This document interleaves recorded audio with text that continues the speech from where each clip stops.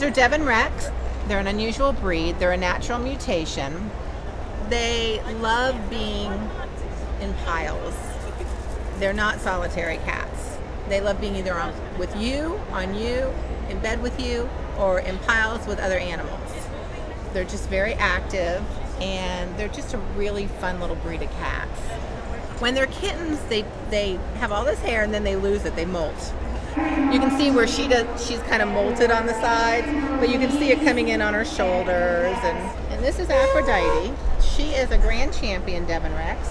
She's an adult, so she's full, fully grown. And she has an amazing coat. If you look at her, see that beautiful coat? You want to feel it? Yeah. It's very soft. But you can see she is a beautiful example of the breed.